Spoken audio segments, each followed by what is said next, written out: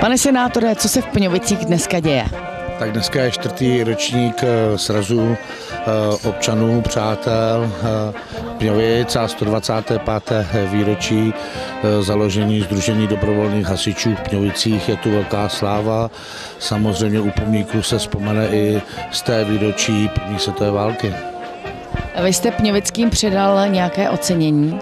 Ano, předal jsem ocenění, který uděluje hejtman Středočeského kraje, čestné uznání ke 125.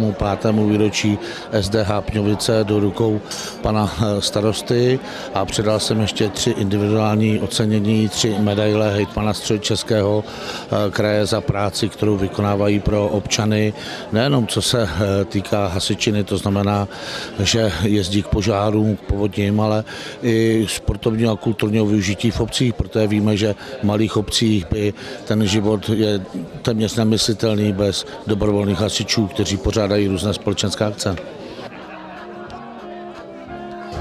Pane starosto, osada Pňovice patří pod Rožmital pod Třemšínem. Dělá vám tato osada radost? Tak samozřejmě, každá osada mě dělá radost. Tady teď je velice iniciativní osadní výbor.